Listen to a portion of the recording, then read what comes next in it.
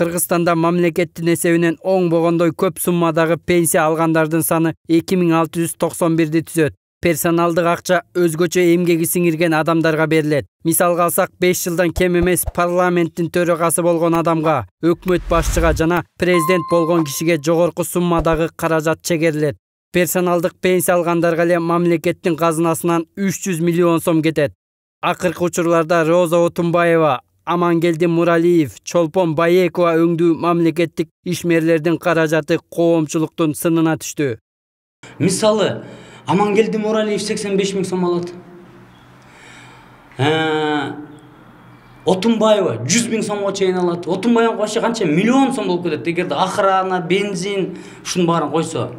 Жаткан жери бесплатно газы суусу бүт баары бесплатно да. Мунукучу экс президент деп макамын алыш керек орозо отунбаеванын кыргызстанды чапырыштырып туруп жүз миң сомдон алса биздин байкуштар үч миң сомдон пенсия алгандар бар экен аталган кишилер убагында мамлекеттик кызматта иштегени менен алардын жасаган ишине канааттанбай мыйзамдаштырылган акчага ыраа көрбөй турушат ири суммада каражат алгандардын катарына кирген амангелди муралиев айтылган сындарга макул эмес ал ак эмгеги бааланганы үчүн отуз беш миң сом пенсия алаарын билдирди.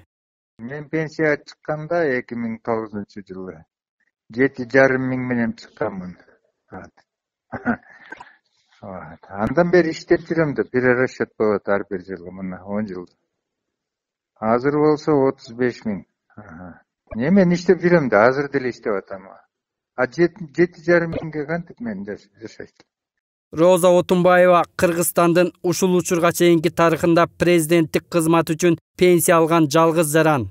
Аны менен катар мамлекеттик бир канча жеңилдиктерден пайдалануу мүмкүнчүлүгү бар. Ал эми жамин акималиев болсо ири пенсиядан баш тарткан легендарлуу парламенттин жалгыз депутаты.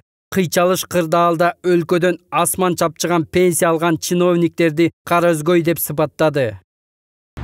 Айчыбас талкаланган колхоз совхоздор жоюлган эле ушинтип турган кезде анан мен ушу мен мындай тактасам айтышты бир кырк беш элүү миң сомго чейин айлык пенсия коюлушу мүмкүн деп жок элде жакшылык болбосо мен ушуну алып алып атат го эми досум уят болот го элдин бетин кантип карайм уят өлүмүнөн катуу деген кеп бар ошондон бери туп туура мына азыр жыйырма төрт жыл өттү мен ойлоп атам эгерде ошондо бир кырк беш элүү миң сом жыйырма төрт жыл ичинде он эки миллион сом болмок экен да мен ошону баш тартып койдум анда мен кемип деле калган жокмун бирок пейилим ток да социалдык фонддун өкүлдөрү мыйзам боюнча кыргызстанда эң көп жана эң аз пенсиянын суммасы купуя сыр экендигин айтышты жарандык активист мелис аспеков отунбаева баекова сыяктуу ири кызматтын айлыгын алып андан соң аз өлчөмдө пенсия алган карапайымдарга да ырайым кылып коюу керектигин айтат бул маселе коомчулукта бир топ убакыттан бери талкуу болуп атат да. Ушул амангелди муралиев роза отунбаева чолпон баекова булар абдан көп.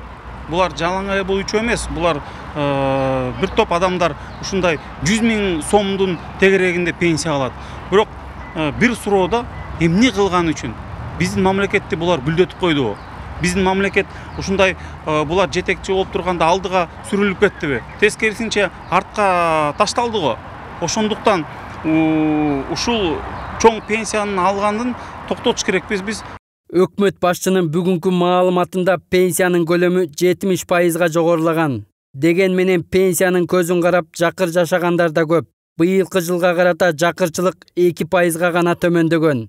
Ал эми колу жука болгондордун саны социалдык камсыздоодо бир миллион жаран турат. Алардын ичинен төрт жүз эки миң адам жөлөк пул алуучулар алты жүз жетимиш алты миң пенсионерлер.